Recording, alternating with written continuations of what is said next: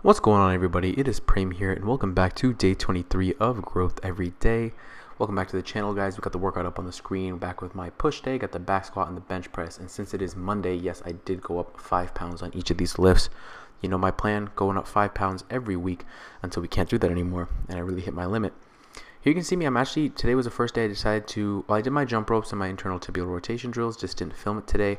Probably not gonna film those anymore, just because it's the same thing over and over again. Um, but I did film that set of hops because those were max level hops, and I'm weighing about 208 pounds right now, and those were feeling pretty springy. My Achilles is feeling pretty good, um, so I'm pretty happy with how those are going. Especially, you know, I'm confident that once I'm down weight, I will be flying through the air. Um, but yeah, I put on five pounds on the squat. I did not get the greatest amount of sleep last night. 245 went pretty, pretty, pretty good today considering that. Um, like I said, sleep is a big component of what goes into your training. So the fact that I didn't have the greatest sleep today, but I still had a good session, was good to me. And tonight I'm definitely gonna get some good sleep. Um, so here I am, just building my way up. My patellar tendon is feeling a little tingly on these sets. Like it's a little, I'm a little nervous to go down fast, you know and really take advantage of the stretch reflex. So that could also be a reason why I'm not feeling so confident with my range of motion. Um, and also a reason why, you know, because of that, it might have felt a little heavier than it actually was, you know. Um, so I'll work on that. Maybe just expose it to a little bit more, you know, faster movements, like graded exposure to speed specifically. Because um, when I was sprinting, I had that. Now that I'm not really sprinting and I'm focusing on general strength, um, I'm not getting so much of that. So maybe exposing it a little bit by doing some just some bouncing drills, maybe like a knee over toe Hindu squat, like but just like going really fast in and out of the hole. Uh, of course, being careful not to injure, but you know, I feel like with the level that I'm at right now, with my knee over toe abilities, that's something that I could do pretty easily um, without injuring myself. So maybe I'll look into incorporating some of those. But like I said, pretty good day. The squats were feeling good. Went up on bench to 165, which was great.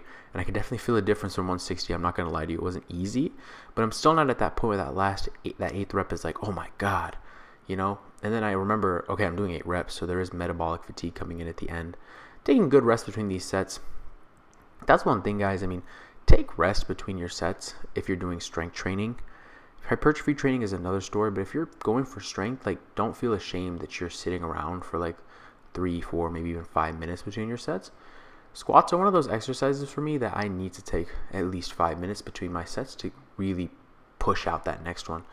Um, deadlifts I t- take about four, which is interesting to me because I feel like I exert myself harder on a deadlift, but I recover faster. But squats, man, they just squats and chin ups I take five minutes between. They just really drain me.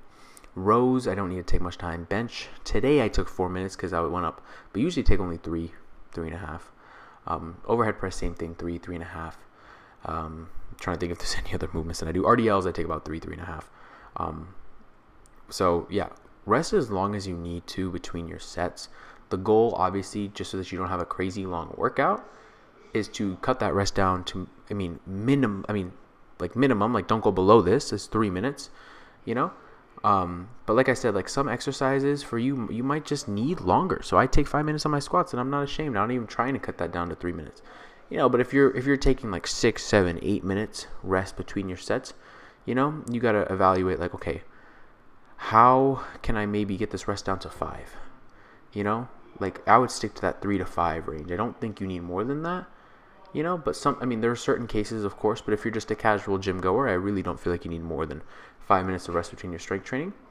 Um, of course if you're like a professional or an elite level athlete um, then there are certain circumstances where you would rest for a longer period of time. I remember one time that i was in my i was at bu and i was sprinting and um, the sprint head pretty much had us rest 10 minutes in between our reps, and then he had us run a 250 tempo, and that was a crazy. That was probably the longest amount of rest I've ever taken in an exercise session was 10 minutes. But let me tell you, it really made the difference because I started that 250 meter out out of the blocks, and it was a. I felt crazy fresh, and that's exactly how you want to feel when you're strength training. Is you want to feel fresh, you know, because you want to get quality reps out of whatever you're doing.